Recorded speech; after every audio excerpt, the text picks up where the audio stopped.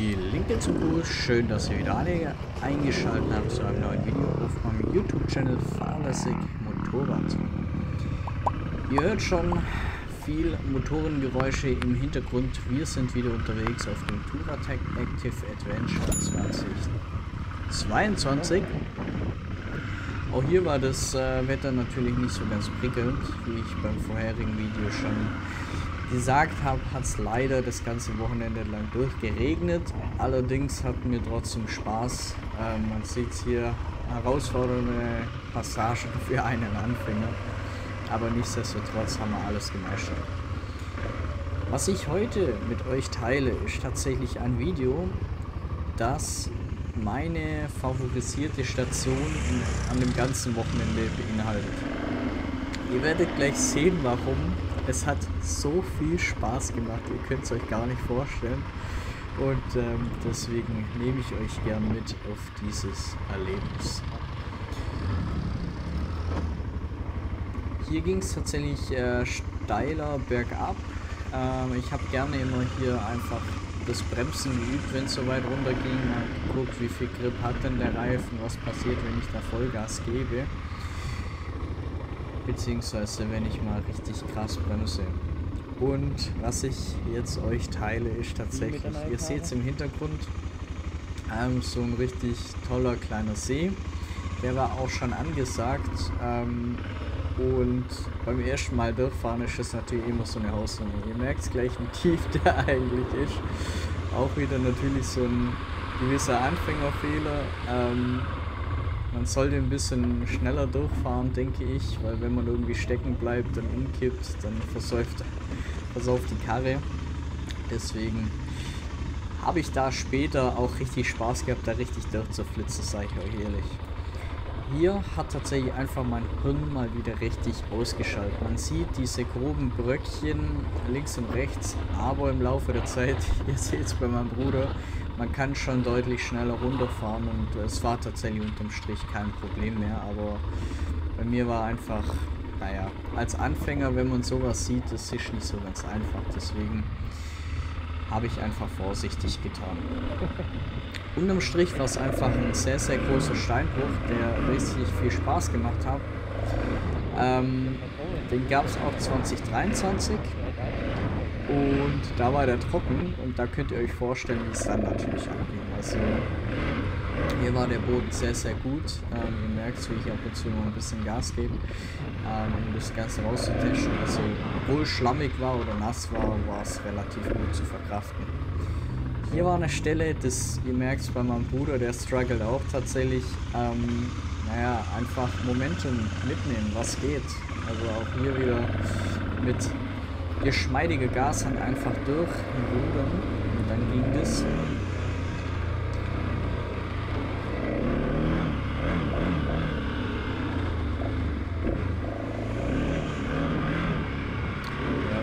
genau, also ich bin immer wieder am Testen, am Ausprobieren und so weiter. Auch hier haben wir wieder die ganzen Zweitakter vor uns, die natürlich richtig viel Spaß haben. Das war jetzt die rote, ähm, die etwas noch steiler hochging. Aber an dem Wochenende habe ich tatsächlich immer nur die gelbe gemacht, weil ich gesagt habe, ich will einfach nur irgendwie durchkommen. Und äh, ja.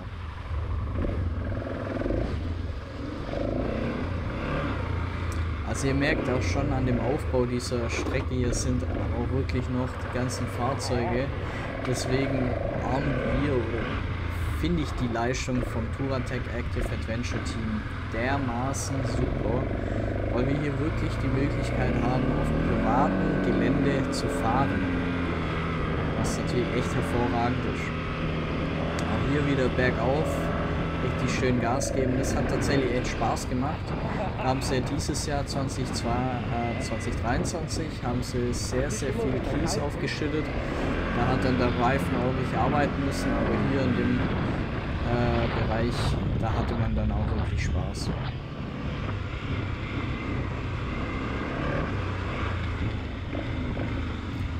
war dann einfach wieder ein bisschen so, naja, durchkämpfen einfach angesagt, Spuren, Schlamm, tieferer Schlamm, war alles dabei. Da musste man einfach ein bisschen Gas geben, damit das Henk auch ein bisschen äh, besser rumkommt. Aber das Ganze haben wir einfach nur zum Sitzen gemeistert. Und dann ging das tatsächlich schon. Jawohl, genau. Also mein Bruder natürlich mal wieder mit geschmeidiger Gashand angefahren. Da bekommt man natürlich den einen oder anderen Dreckbullen auch sicherlich mal Richtung Gesicht geschleudert. Ah, herrlich, ich sag's euch. Jawohl. Traktormodus. Genau, also das war tatsächlich nicht so schwierig. Hier kamen dann wirkliche Spuren, das war dann richtig matschig. Da musste man auch drin bleiben, weil wenn man ins Gas gekommen ist, das war dann einfach naja, eine andere Hausnummer. Ihr seht hier richtig, wie wir beide so richtig am Straucheln sind. Jawohl, und einmal der Berg wieder runter. Da war natürlich einfach angesagt, irgendwie hinten am Bruder dranbleiben, aber ab und zu ist der halt wirklich etwas schneller unterwegs wie einer, oder wie ich selber, deswegen ist auch hier einfach das Ganze mit Vorsicht zu genießen, übermütig sollte man nicht sein. Genau. Wir haben natürlich immer nach der roten äh, Route Ausschau gehalten, weil das waren in der Regel immer Abzweigungen und ähm, deswegen haben wir uns dann auch gerne mal umgeguckt, wo es denn noch so Strecken gibt.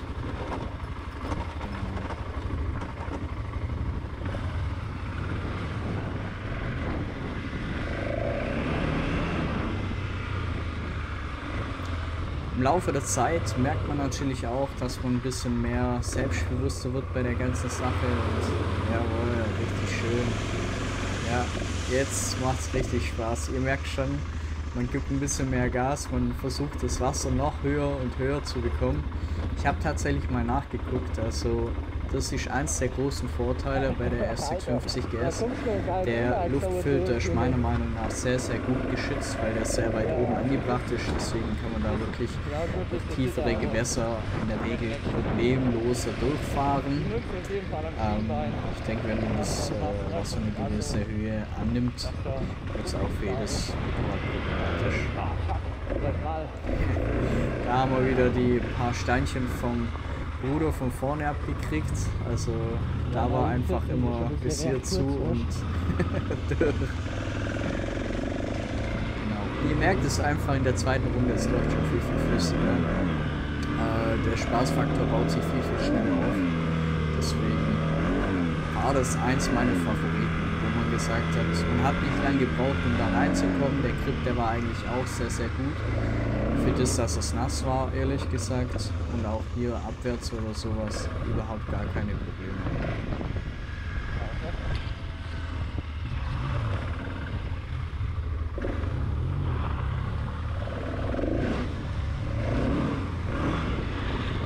Ja, das waren natürlich immer so die Brüder-Moves. Ähm, großer Bruder fährt voraus und guckt dann immer nach hinten, ob er den kleinen Bruder auch irgendwie abschießen kann. Das war immer so ein lustiger Moment. Ja, dafür hat mein Bruder dieses Jahr 2023 wahrscheinlich. Also ihr merkt, ich musste vom Gas gehen.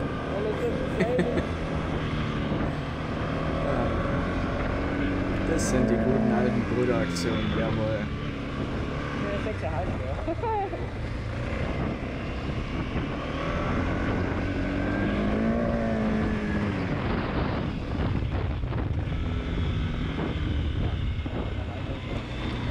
Falls sich jemand wundert, was das eigentlich da vorne im Display rot blinkt, das ist zum Glück nicht die Motorleuchte oder ähnliches, sondern einfach nur das ABS, das abgeschaltet ist.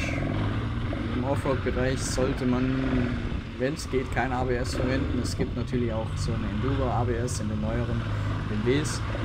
Aber wenn ich hier beispielsweise das ABS verwenden würde, dann würde ich einfach fast schon ungebremst den Berg runterrutschen. Deswegen ich das da gerne aus und das ist tatsächlich eines der Punkte, die man bei der F650 auch machen kann. Zum Glück während der Motor läuft. Man muss zwar angehalten haben, aber alles gut. Ja, der Kollege, der fährt natürlich auch mit seinen kompletten Koffern. Äh, so ist richtig, man muss sich auch auf seinen nächsten Urlaub vorbereiten.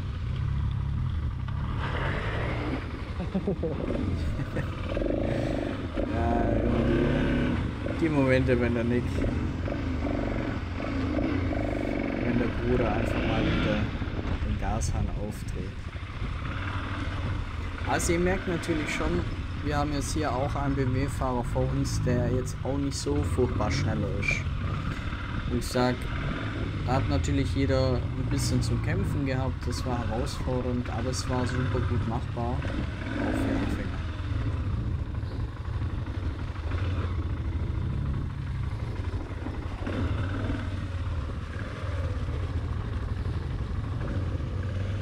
Ja, supi.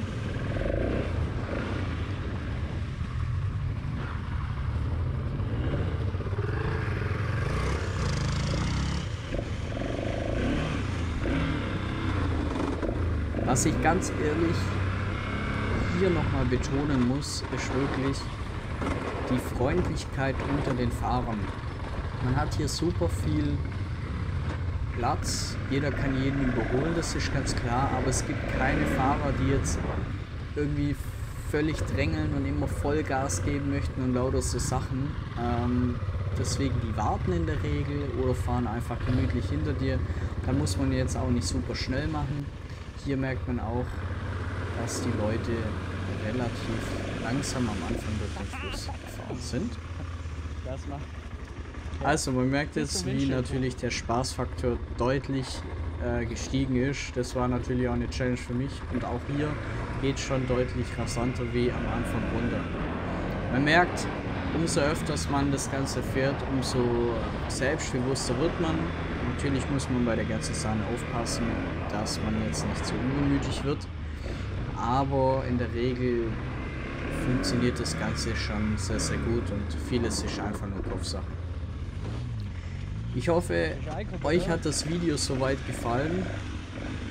Wie gesagt, mir ist es wichtig, das Ganze einfach transparent darzustellen. Mein Bruder versucht jetzt hier mal über die rechten, rechte Seite auch sich nochmal richtig schön einzugraben. Ähm, das sind natürlich alles so Momente, die super, super viel Spaß machen.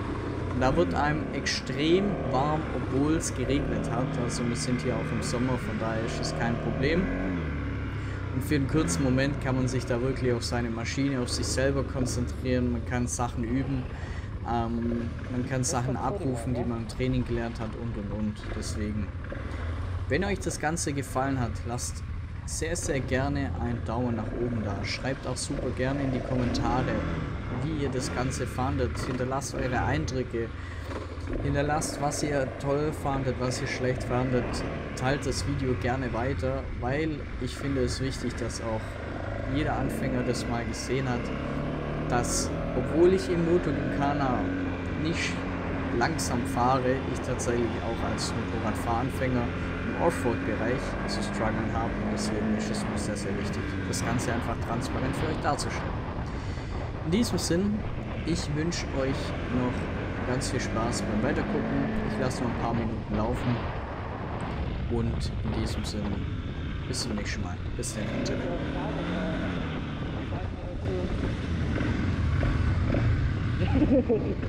Und